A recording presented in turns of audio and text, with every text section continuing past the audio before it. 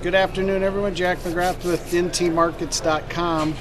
Well, really, the Eurodollar complex is very lackluster, very low volumes, and the options have been extremely quiet.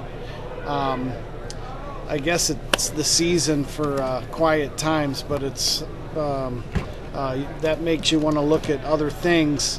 Hence, the uh, we paid we uh, saw the uh, Bund reversal um, in the uh, off the uh, March daily chart in the Bunds. you have a key reversal, and what you'd be looking for is a lower low during tomorrow's trading session.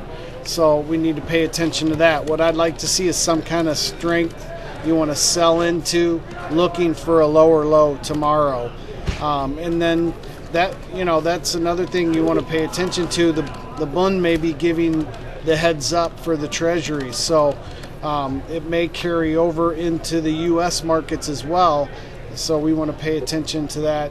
It, you might be able to uh, get a nice scalp if we uh, see the treasuries bounce and the Bund continues lower. You'd want to sell, I think, uh, the 10 uh, year or the bonds here to take advantage of that. But uh, actually, the 10 year and the bonds traded heavy this uh, most of the session. Was a nice trade. We saw some strength early in the morning, and then they basically uh, slid lower the rest of the session. But uh, very light volumes um, for the most part, I think, everywhere.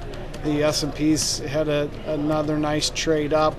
I still like selling bounces in the stocks, but uh, we'll see if we start to get above 1423. I think you can get the spike up to the 3031 area, and that would be your next level where you try to short it again.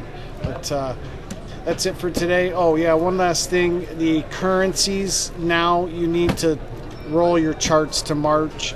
Uh, moving forward, you'll probably start to see the March contract over uh, more volume than the Dees contract.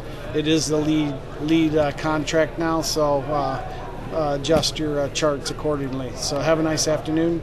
Jack McGrath with ntmarkets.com. Thank you.